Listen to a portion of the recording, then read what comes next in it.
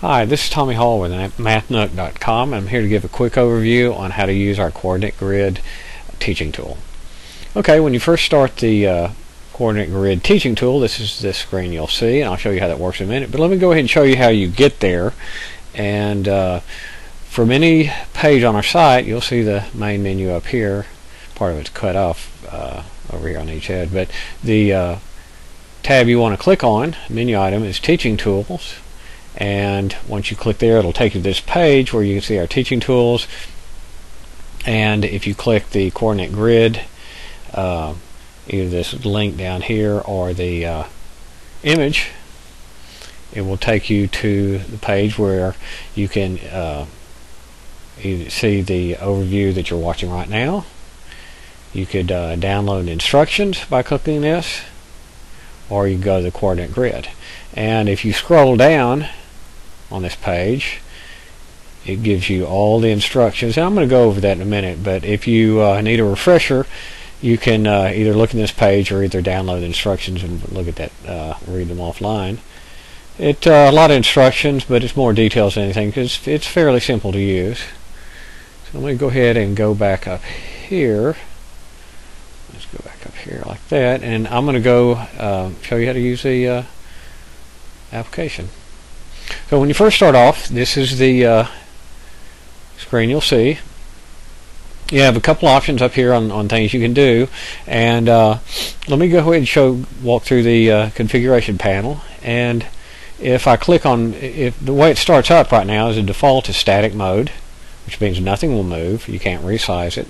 Show mode, and uh, I'll go over that in just a second. Animation on or animation off and you just change the radio buttons by clicking on them like that.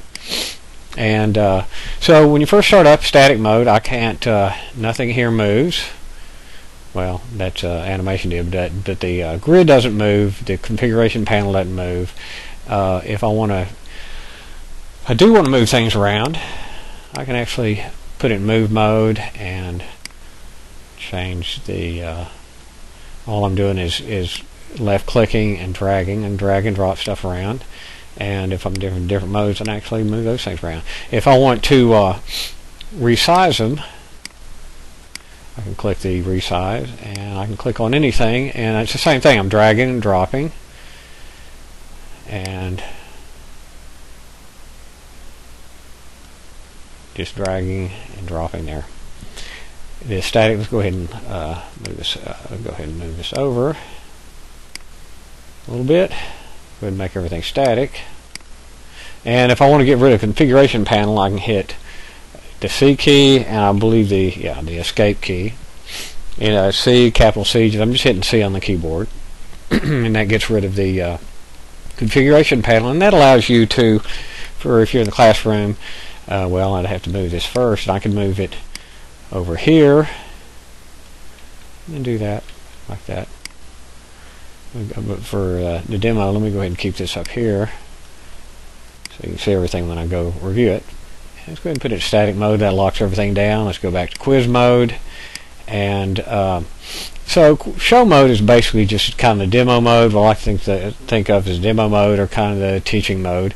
And that's a, I wanted to show, uh, click a point over here, coordinate pair. It shows it uh, the uh, coordinate pair is 4, 6, and it shows you how you got there. That's kind of a neat thing to you want to demonstrate how the coordinate grid works. The uh, quiz mode, and here's where the animation comes into play. um, this is for when you want to quiz somebody on a specific coordinate pair, uh, particular point on the on the coordinate grid. And so let's go ahead and choose this one. And I know that's 6 across and 6 up. So you would uh, choose this one. Then you may ask a student, okay, go ahead and plug in uh, the uh, coordinate pair, the x and y uh, coordinates. And so here I can either type in 6, which I'm doing with the keyboard, or I can just, if I don't, if I don't want to use a keyboard or don't have access to keyboard, I can just use these up and down arrows. And when I'm ready, check. And that's the animation you see there. It's a little, let me go ahead and do uh, 6 across 1. and you can see the animation it's just a little check mark and if you get that wrong then you can't see it here it tells you that the actually you don't get the check mark animation and it tells you the correct answer is 6-2 if we turn the animation off and let's go and plug in 6-2 and check it just gives you a check mark shows you that it's correct and it doesn't do the animation. Let's go ahead and go back up. So that's how the uh, quiz mode works. And really the excuse me the random mode is very similar except this this in this mode you don't have the option of selecting what uh, point on the coordinate grid you want them to get to to check to enter the coordinate uh, x and y coordinates um, and so and if you don't really enter it it's just telling you click on coordinate 0 5 so 0 across 5 up check. Go ahead and turn the animation back on. 8 across 0 is here. And I get the red check mark versus a green in the other one. Okay so 5 across 1